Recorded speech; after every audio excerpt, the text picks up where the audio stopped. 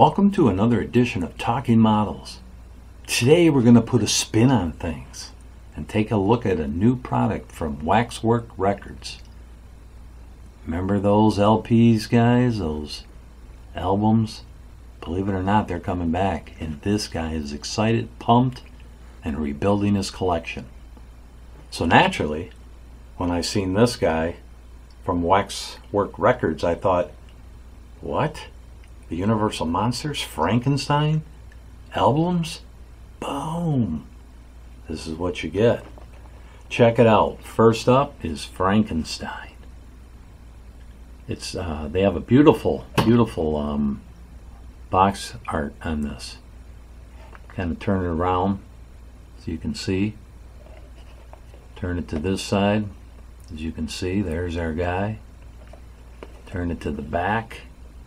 You got more uh, beautiful pictures of these spinatures.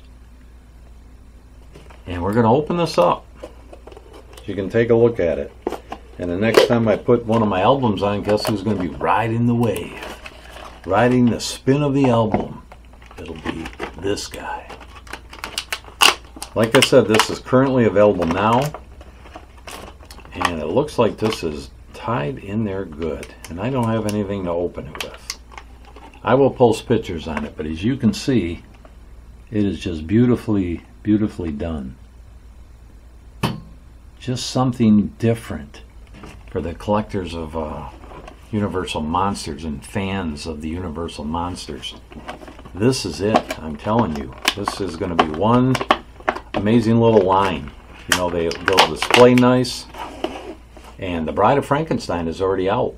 And uh, they'll be doing more of these.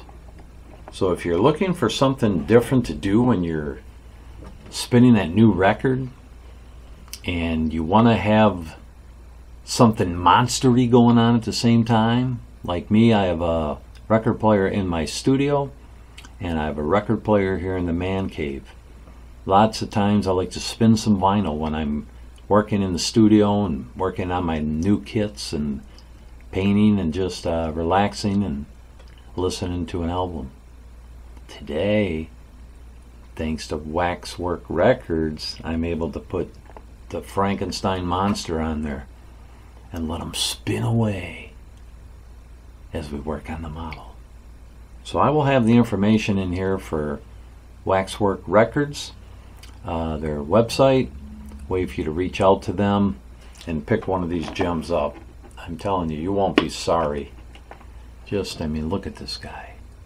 And I will have some pictures of them out of the container and you'll see it at the beginning of the video. And do yourself a favor. Reach out and support these guys over at Waxwork Records and uh, make sure these monsters just keep coming. See where they're coming at us in models, in resin, and they're coming at us in spinatures Man, what a blessing to be in this part right now in this areas of society where they're giving us stuff like this, despite all the stuff that's going on around us. We have some pleasure in supporting companies like this. So that concludes today's episode of Talking Models as we do a out of the box review on the new Spinature line from Waxwork Records. First up in the line, Frankenstein. If you haven't subscribed to this channel, this is a great time to hit that button.